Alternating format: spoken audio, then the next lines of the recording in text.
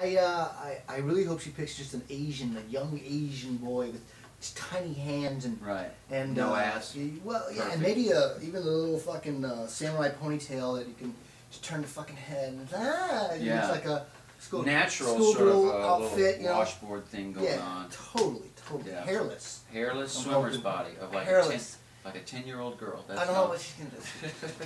I mean, she she likes me for my manliness, so I can't imagine what she's gonna bring in to complement that. You're just thinking something along the lines of like a spider monkey, just something that can, or a crab that can work its way out of the cracks. What we're discussing is uh, my girlfriend Janine's potential choice for a threesome partner for she and me. A hootenanny. Um, we have recently discussed. Swordplay. No, no, no, no. We recently discussed a threesome, and then uh, you know, it was a couple, couple, not a couple months, but a little while ago, I let it ride. She came Yeah. back with uh, a, a man. Yeah. Like recently, a couple days ago, she she brought in swordplay aspect, which uh, that is not. If you've ever that I been to camp.